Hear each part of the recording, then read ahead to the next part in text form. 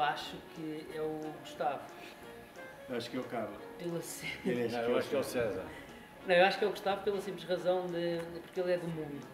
Ah, nasceu na Colômbia, vive em São Paulo, trabalha muitas vezes no Rio de Janeiro, já está em Portugal a fazer espetáculo connosco, portanto acaba por ele ser o único do mundo. Gostei disso, não tinha percebido. Nós, nós nem tanto, já fizemos no Brasil, mas, mas pouco mais. Portanto, E o no único Alentejo? cidadão do mundo é o Gustavo. Tá bom, tá bom, vamos deixar.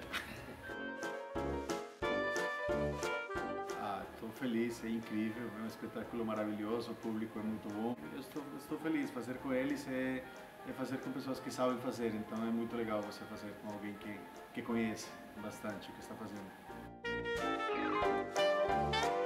Sinto que o público português é mais calmo, tem outros tempos, é, é mais elegante de alguma maneira, é, na sensação, é, as coisas que falam, como falam, é mais tranquilo. Ah, o, o maior problema é a língua, às vezes pelas palavras ou pelas referências culturais ou nomes de, perso de pessoas, personagens que eu conheço ou de lugares que eu não conheço.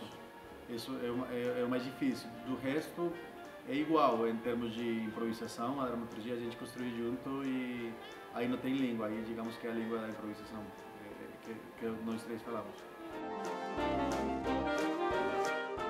Isso é o que a improvisação tem de melhor. É exatamente cada um é um uno no espetáculo e cada um atri- eh, leva para a cena a sua individualidade. Eu acho que isso é uma característica própria de- da improvisação. Como se fosse um acorde, digamos. Um, um acorde é feito de vários tons e só vários tons dão um acorde.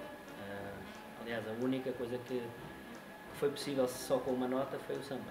Uma nota só.